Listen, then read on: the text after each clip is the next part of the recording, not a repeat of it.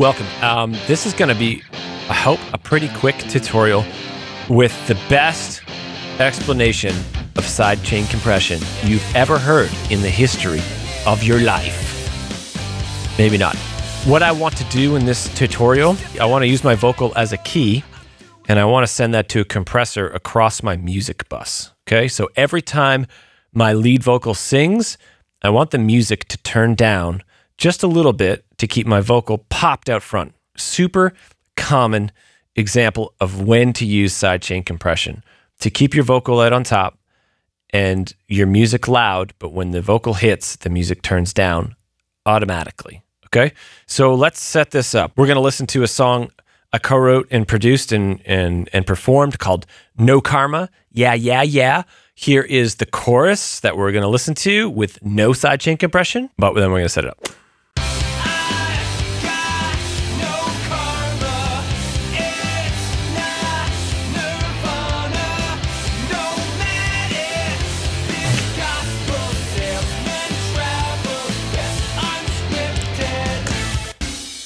All right. So, what the heck is sidechain compression and why would you set it up? Uh, well, today we're going to figure that out. What I would like to do is I like to keep the instruments just as loud as they are right now, or even louder. But what I want to happen is I want my vocal to stay out on top and stay winning. So anytime this lead vocal, which is Vox or Vox Dupe, sings, it's going to automatically turn down my all music bus. So to set this up, I need to send some of my vocal so out into the abyss right now, but then we're gonna we're gonna match it. So this is gonna be a mono send. So I'm gonna send it plenty of levels. So bus 13 is is nothing. It's going nowhere yet, but option click that. It goes right to zero, which is nice. And pre-fade.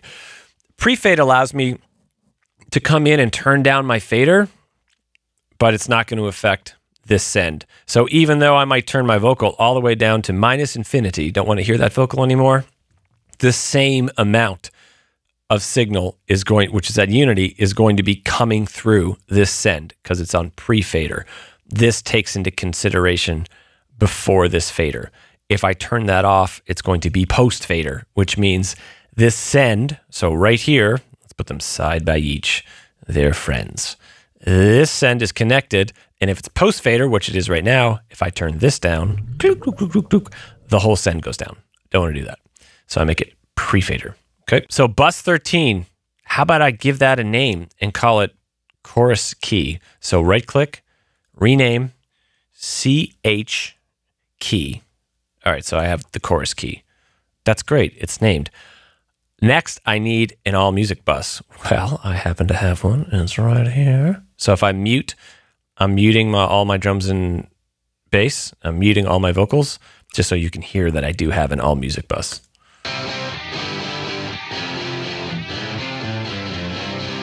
Okay, that's my music bus. And then I have an all vocal bus and an all drums bus. So here is the all music bus. This is what I want to turn down every time I sing. And then and then in that chorus and then I could easily pop that, populate that over to the all drums. So what do I need for this? Just a regular Pro Tools stock Dyn 3 compressor. This is the stock Pro Tools compressor, and this is what I need. So some some plugins will have a key input. Any plugin with a key input, you can sidechain compress it. Okay, so or sidechain gate it. You could sidechain it. So this is sidechaining. So I'm going to take that key input and I'm going to assign it chorus key, bus 13, chorus key. So now it's just chorus key. It was it was bus 13. And then in Pro Tools, I need to turn this on. So there's a little key right there. So I can, if I don't turn that on, there's nothing going to happen. So I have to turn, oh, I misclicked. There it is right there. So let's just take a look. Side chain. And that is now on. So we can make things sound pretty bad pretty quick. For side chaining, I like a really quick attack um, and a pretty fast release. So slow release, fast release, fast attack, slow attack.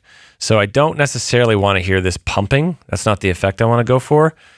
Um, I just want it to turn down a little bit. At three to one, it's going to turn down a lot. These ratios are super, super, super sensitive. So we can even go a little bit lighter and then we can mess with the threshold. So let's I'm sending my vocal. I'm sending it right here. And here we go. And that's pretty wild. So it's turning this entire music bus down 6 dB right now, and you kind of hear it sounds like a like something's turning off and on. That's too much. We don't want that. Um, but let's just go crazy. And let's say that's what we wanted, just more of it.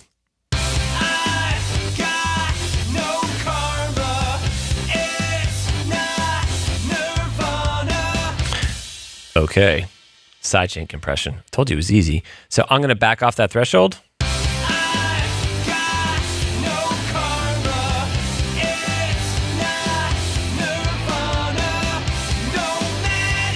And what I can get away with now probably is boosting even more music.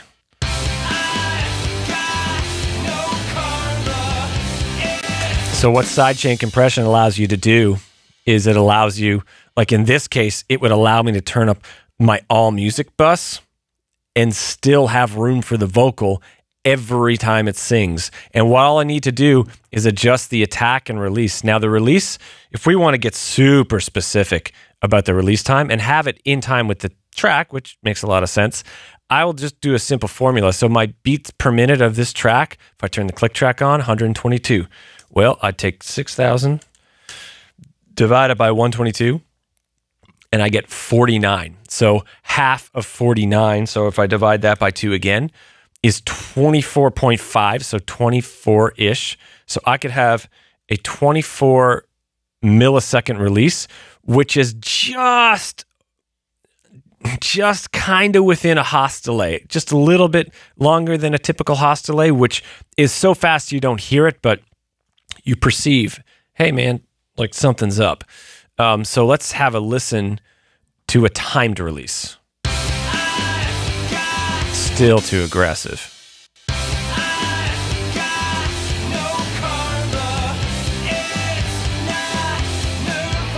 Just come back on that, coming back on the attack a bit. You still hear it. Better.